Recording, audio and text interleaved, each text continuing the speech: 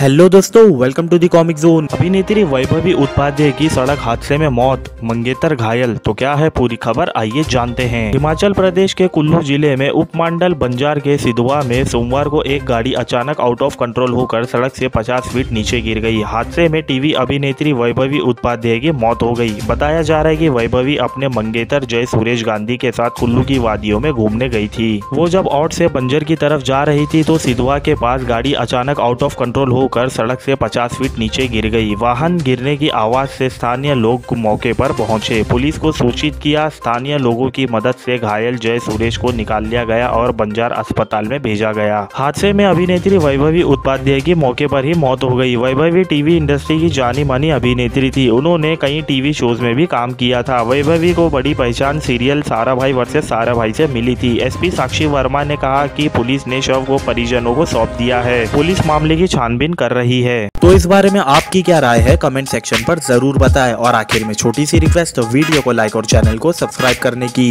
तो मिलते हैं नेक्स्ट वीडियो में।